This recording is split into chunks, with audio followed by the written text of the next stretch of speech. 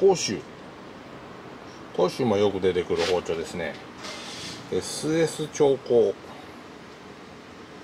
アイス鋼かなんかでしょうか。研ぎ跡の感じからちょっと類推するんですがちょっとこう波打った感じになってるのはこれはあのここの厚みにムラがあるからかもしれないし研いだ人が、えー、砥石のグラインダーかな？グラインダーの当て方のムラがあったからかもしれない。グラインダーのねなんかねこの横にぐるぐる回るタイプにこうやって当てて研いでるんじゃないかなって感じがしますね。こことか。もうここはここに当たってる気配がある。この辺面が当たってるけどもこっちの方が当たってない。縦回転だとよっぽどですね、えー、その径が直径が大きいですね。こういう縦回転のやつだとちょこの直径が相当大きいやつじゃないとこれだけの面積がなかなか当たらない。ここだけ当たるとかでですねこの全体が当たるってなかなかしにくいと思う、はい、横回転系の砥石に角度をつけて当てて研いだじゃないかなという気はします。ええっと状態ですけども刃はねそんなにまあ悪くはないですね。あ悪いか。まあ研ぎに出すんだったらこんなもんかなっていう感じ。丈がちょっとこの辺にあるですね。で厚みはやっぱりこのここ研ぎすぎてるんで減らしすぎ。でこっちの方が、えー、全く減らしてないんでまあこの辺をちょっと薄くしてあげたいなという、真ん中からこの辺全く触った気配がないんでですね。まずはこの辺をちょっと当てて薄くしていきたいと思います。いきます。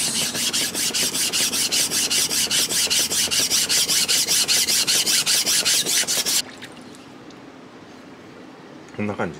ここ当てていってるの。あんまりもう刃先は狙ってない。こうだんだんすり上げていきたいなと。思います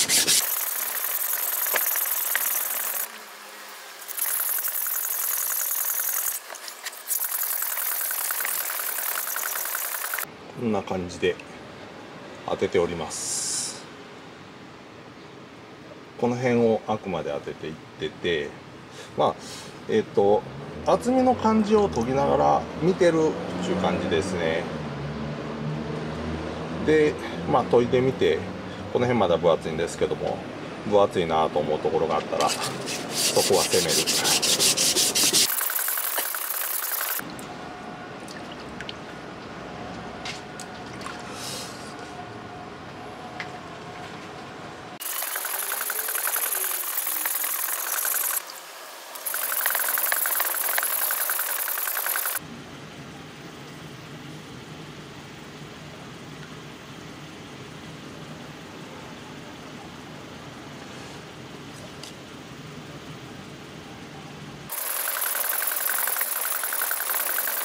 とあのー、こういうですねこういうこれねこういう帯の面として考えてるわけ。でここがまだ厚みが抜けてないなっていう同じ幅じゃなくてこっちの方は結構厚み抜けていってるんだけども残ってるなみたいなのがあるんで今ここを攻めてます。逆にこの辺は当たらないなと。当たらないところはまあ無理して薄くしすぎるとここを当てるためにここを飛ぶとここがもっと薄くなるんでですねそういうことはしない。うん。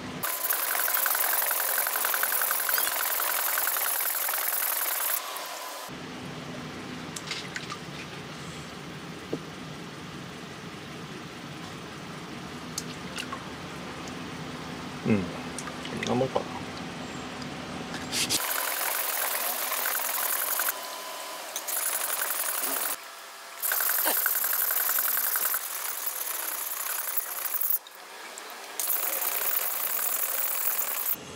こんな感じになっておりやす。んでえっ、と賭けがちょっと見つかりますのでちょこちょこあるんで刃引きをちょっと一回ししてしまいます。その上でもう一回厚みを調整するかどうか。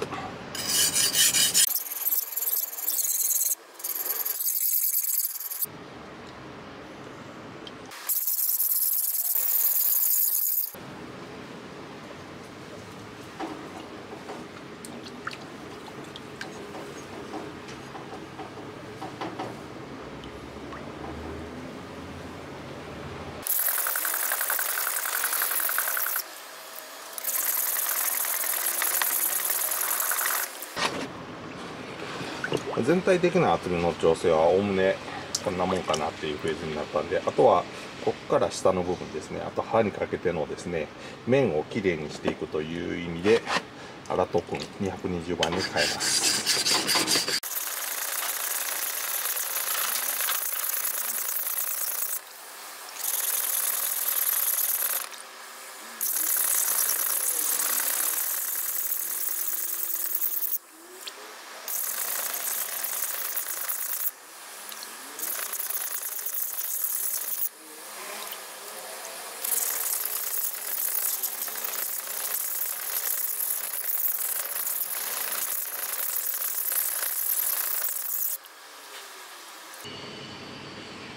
全体的に帰りが出ました。のでブラッシングアップに行く前にちょっと刃先だけ確認しとこう。切っ先だけ確認しとこ